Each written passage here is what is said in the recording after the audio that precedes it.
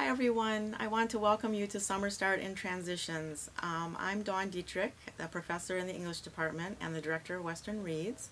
And I'm here to tell you a little bit about the Western Reads program and the book that we've chosen this year, which all of you have received a copy of today.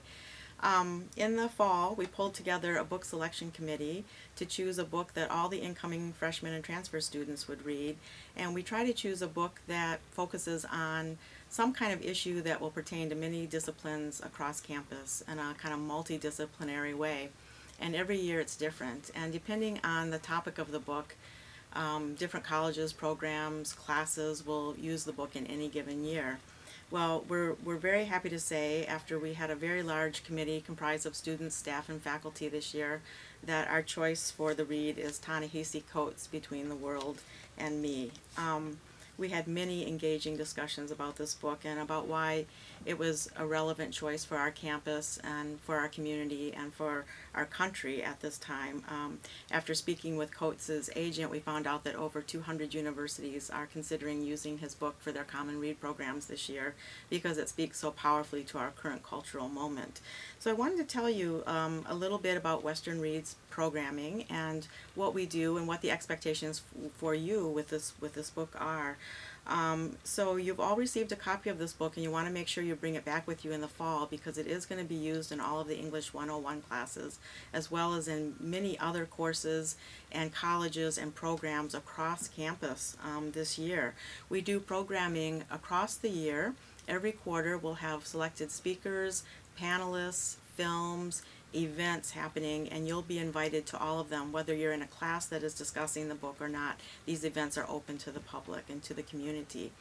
Um, in many um, cases we also invite students to um, smaller lunches so they can meet authors or um, experts or visiting scholars or speakers or writers on topics that are central to the book's themes and really give you a chance to engage one-on-one -on -one with a lot of these um, individuals who are thinking about these ideas.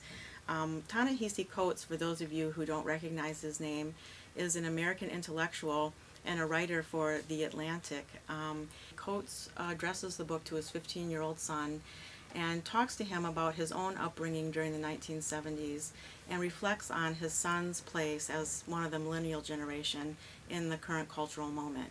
He looks very specifically at, at race relations and what his hopes and dreams and fears are for his son from this African American perspective.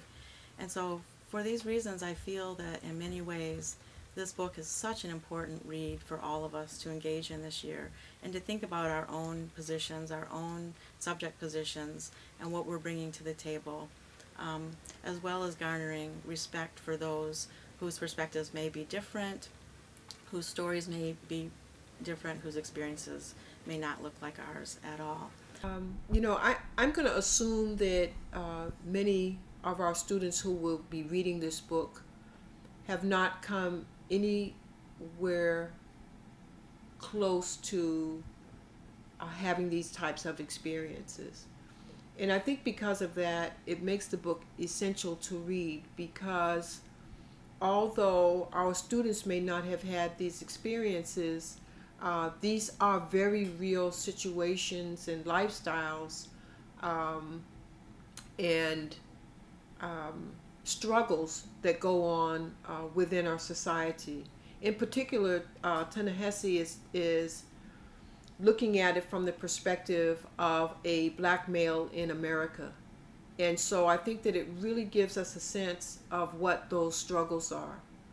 I think a lot of my students have felt like this, this problem has been solved in some way, or that we had made such significant progress in this regard that these discussions become in some way uh, superfluous or unnecessary. And I think that this book really brought home the fact that these discussions are profoundly necessary.